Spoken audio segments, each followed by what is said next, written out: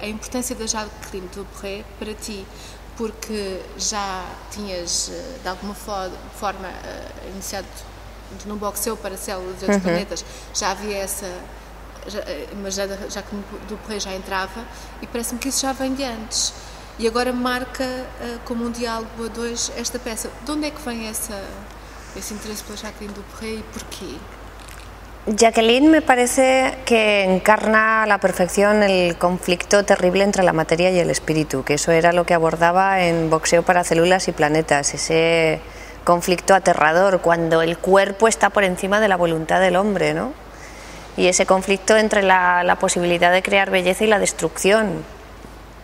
Y, y el agotamiento de, de un fulgor, ¿no? La extinción de Jacqueline Dupré eh, que está tan relacionada con lo injusto. ¿no? A veces parece que los mejores están destinados a morir para que sobrevivan los mediocres y los imbéciles. ¿no? Entonces es algo que por una parte me aterra y, por otra parte me desasosiega esa especie de, injusticia natural, ¿no? de la naturaleza, cuando el cuerpo viene a masacrar la, la belleza. ¿no?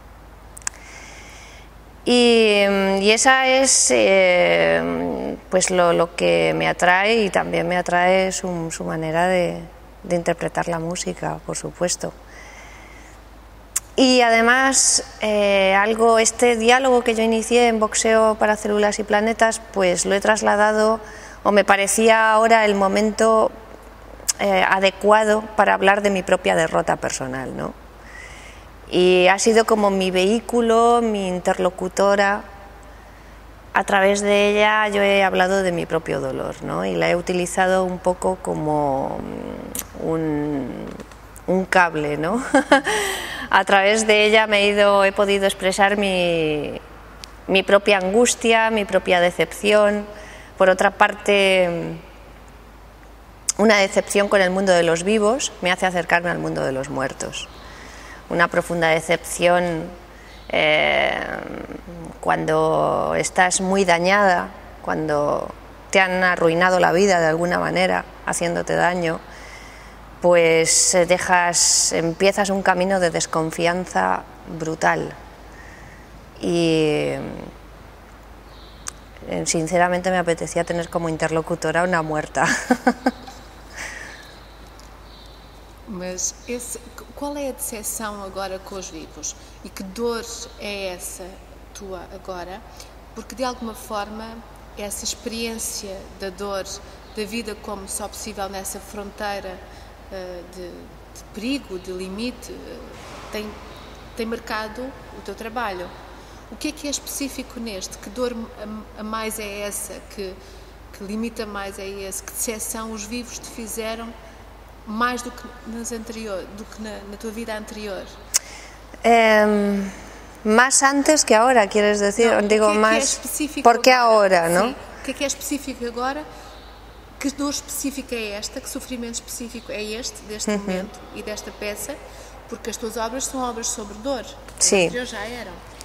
Sí, sempre he reflexionado sobre el dolor porque me parece, hablar del dolor y del sufrimiento me parece algo revolucionario y algo que mm, es una batalla contra la banalidad y la vulgaridad en la que, eh, bueno, con la que intentan controlarnos y hay una especie de integrismo de la banalidad y un discurso de la banalidad, un discurso intelectual incluso, ¿no? Como arma arrojadiza contra todo lo que es profundo, sensible, bello, y para mí hablar del dolor es algo revolucionario y hablar de los sentimientos eh, más profundos es algo revolucionario y es una patada al culo a la banalidad y a la vulgaridad.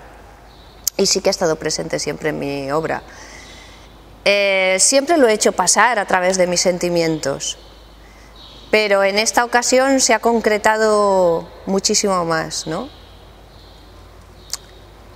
Porque también se van acumulando capas, llegas a un límite en tu vida y, trabajas con, esa, con ese desgarro interior, ¿no? Llegas a un no puedo más.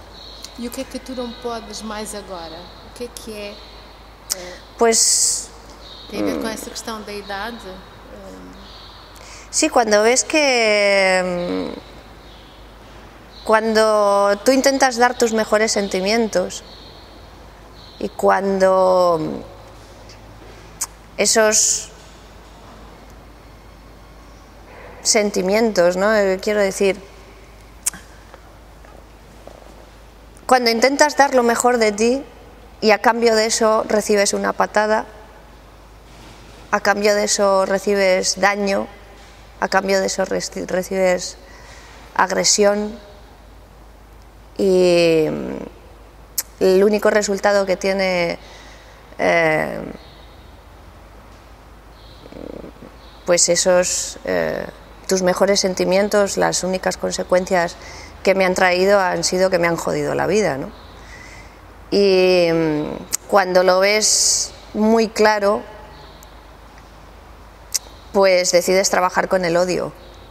Y es lo que yo digo, ya mm, me parece que a veces me da la impresión de que ahora mismo no tengo nada más que odio, que ira, y no puedo trabajar con otra cosa. Antes he trabajado con el amor, pero... Sí, también un amor muy... Sí, bueno, claro, yo vivo las cosas intensamente, si no me parece que mejor... Eh, bueno, desaparecer, ¿no? ¿no? Me interesan las relaciones mediocres. Eh, pero cuando te encuentras con una sociedad egoísta, cobarde, mediocre, y tus mejores sentimientos son masacrados, y el amor que quieres dar es masacrado y a cambio de eso recibes daño, pues a partir de ahora prefiero trabajar con el odio, ¿no? Y no quiero negar tampoco mi capacidad para odiar. Tengo una capacidad para odiar inmensa. Tengo una capacidad de odio infinita. Mas que é igual à tua capacidade para amar ou neste momento não tens mesmo? não, porque, porque essa, o amor, eh, essa intensidade em ti imagino eu estar nessas duas dimensões. O ódio e o amor, se calhar, estão muito claro. próximos, como a vida e a morte, de alguma forma. Sí, sí, sí, sí. Además, eh, quiero decir que uno siempre intenta dar su mejor parte, ¿no? Y... Pero en el fondo también son sentimientos que nos pertenecen y que también los puedes amasar y los puedes transformar en objeto estético y los puedes transformar en algo bello. Para mí era importantísimo transformar el odio en, belleza. Y bueno, con esta pieza, a través de Jacqueline, intento transformar ese odio en algo bello. ¿no? ¿Y de qué belleza estamos a hablar? Porque acho que se calhar no é a beleza que as pessoas também se convencionaram de forma simplificada y banal y reductora de pensar beleza. ¿Qué belleza es esa? Pues es la belleza que viene a hacer justicia, ¿no? Creo que cuando el mundo se convierte en algo injusto y cuando el mundo se convierte en algo injusto, la belleza viene a hacer justicia. Es una de las formas de la justicia.